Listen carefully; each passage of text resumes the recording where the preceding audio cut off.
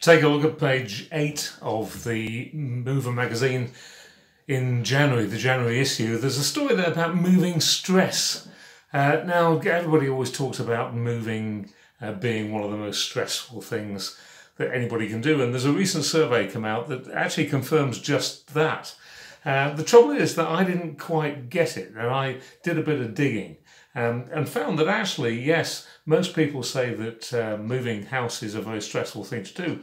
However, when you actually analyse it, the moving bit, I mean, the bit that, that you guys do, is one of the least stressful parts of the whole thing. And, and I just thought it was um, maybe we've sort of misjudged this. And we've, we've, we've, we've started, um, uh, throughout the years, we've been telling people that moving is a very stressful thing, therefore, you need a good company to uh, make sure that everything's okay. And when in fact, the stress doesn't come from us.